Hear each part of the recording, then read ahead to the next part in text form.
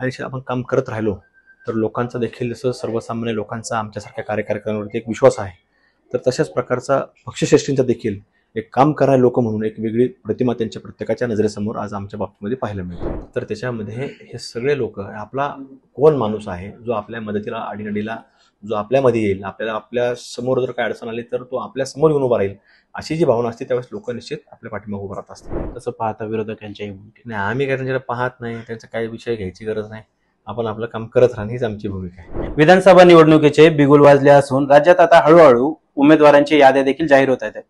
महायुतीकडून भाजपची पहिली यादी जाहीर झाली. त्या पाठोपाठ आता शिंदेकडून देखील त्यांची यादी जाहीर झाली. आज नुकतीच अजित पवार गटाची पहिली यादी जाहीर झाली. अहमदनगर शहरामधून पुन्हा एकदा अजित पवार गटाकडून संग्राम जगताप यांनाच उमेदवारी जाहीर झालेली आहे आपल्यासोबत संग्राम जगताप आहेत. आपण त्यांच्याशी संवाद साधूया. भैया उमेदवारी जाहीर झाली. काय पहिली प्रतिक्रिया? मी प्रथमतः राष्ट्रवादी काँग्रेस पक्षाचे आणि जे राज्यामध्ये अगदी सर्वसामान्यांचं सरकार म्हणून हे महायुती सरकार जे काम करते सर्वच मित्र पक्षांचे मनपूर्वक त्यांचे आभार व्यक्त करतो की त्यांनी सगळ्यांनी मिळून माझ्यासारख्या एक काम करणाऱ्या कार्यकर्त्याला एक संधी देण्याचं काम केलेलं आहे. भैया दोन गेली दोन टर्म तुम्ही आमदार होतात. आता ही आमदारकीची हॅट्रिक आहेत कसं बघताय या हॅट्रिककडे आता? नाही हे शेवटी एक शहराचं काम आहे. अनेक लोकांचे प्रश्न सोडवण्याचं काम आपण करतो. त्यामुळे त्याच्याकडं एक आपण काम करण्याच्या दृष्टिकोनातून आपण पाहत आलेलो आहोत.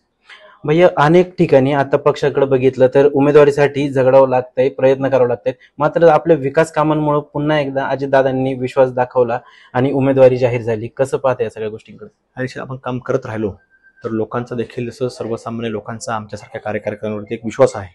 तर तशाच प्रकारचा पक्षश्रेष्ठींचा देखील एक काम करणारे लोक म्हणून एक वेगळी प्रतिमा त्यांच्या प्रत्येकाच्या नजरेसमोर आज आमच्या बाबतीमध्ये पाहायला मिळते.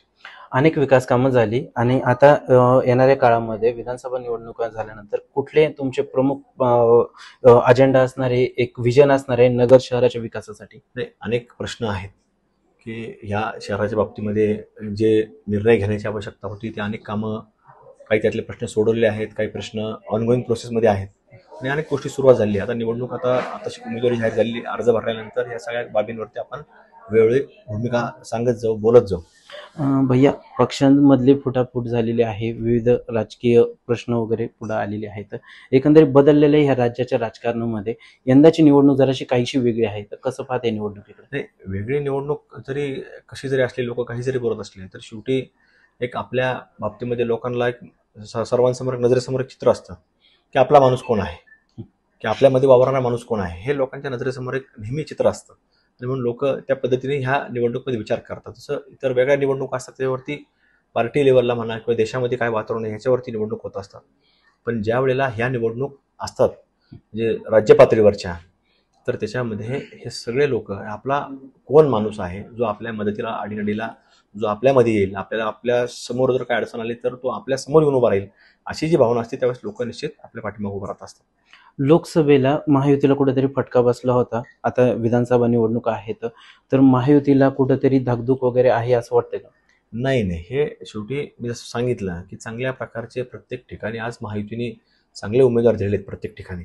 आणि तेव्हा मला खात्री आहे की त्या लोकांचा एक चांगला लोकसंपर्क आहे चांगलं काम आहे. त्यांचं सर्वांचं चांगलं संबंध असल्यामुळे ते लोक चांगल्या मताधिक्याने प्रत्येक ठिकाणी निवडून येतात आपल्याला पाहायला मिळतं. म्हणजे शेवटचा प्रश्न आपली उमेदवारी जाहीर झाली आहे मात्र अद्यापही विरोधकांकडून त्यांच्या उमेदवाराचं नाव फायनल होत नाही अजूनही जागेचा तिढा कायम आहे. कसं पाहता विरोधकांच्या? नाही आम्ही काय त्यांच्याकडे पाहत नाही त्यांचा काही विषय घ्यायची गरज नाही. आपण आपलं काम करत राहणं हीच आमची भूमिका आहे. विकासाच्या मुद्द्यावरती संग्राम जगताप ही पुन्हा एकदा तिसऱ्या टर्मला आमदारकीसाठी उमेदवारी त्यांची जाहीर झालेली आहे. व्हिडिओ जर्नलिस्ट गिरीश सोबत मी प्रवीण सरोसे. लेट्सअप मराठी अहमदनगर.